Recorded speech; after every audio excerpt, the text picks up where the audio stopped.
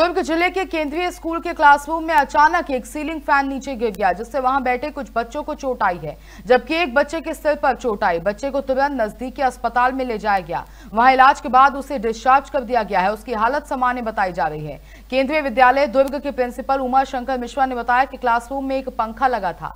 सुबह करीब दस बजे नौवीं के डी सेक्शन के थर्ड पीरियड की क्लास चल रही थी, और इसी दौरान अचानक फॉल सीलिंग गिरने से पंखा नीचे गिरा और तार के सहारे झूल गया।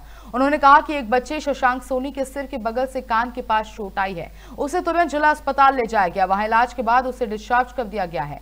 ये मेंटेनेंस के अभाव में दुर्घटना नहीं हुई है। हर साल विद्यालय के मेंटेनेंस पर ध्यान दिया जाता है और ये अचानक हुई दुर्घटना है। कोई गंभीर नहीं था सर।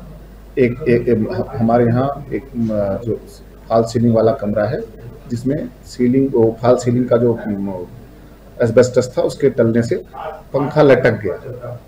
और उसके लटकने से वो मतलब इतनी ऊंचाई पर करीब आ गया और वो बच्चा उधर से निकला तो उसका लग गया, उसने ध्यान नहीं दिया। और बच्चे को खरोच लगा है। कोई गंभीर चोट नहीं है बच्चे को। और तुरंत हमने उसको बच्चे को ला करके फ़र्स्ट एड दिया। हमारे यहाँ नर्स बराबर रहती हैं, मेडिकल और उसके बाद तुरंत हम उसको हॉस्पिटल भी ले गए। पेरेंट को भी बुलाया साथ में। हॉस्पिटल ले गए। हॉस्पिटल में भी हमने जो भी उसका ट्रीटमेंट होता है जो डॉक्टर ने बोला, कोई सीरियस नहीं है। उन्होंने एक पेनकिलर दे दिया, बच्चे को पेनकिलर इंजेक्शन दे दिया